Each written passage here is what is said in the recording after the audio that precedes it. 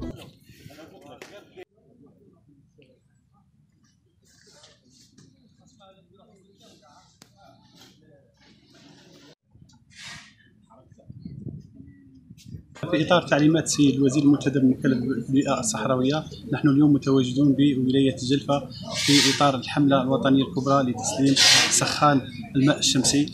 سخان الماء الشمسي هذا من إنتاج كفاءات وأيادي جزائرية 100% كما أنه يشتغل بالطاقة النظيفة والطاقه الصديقه للبيئة.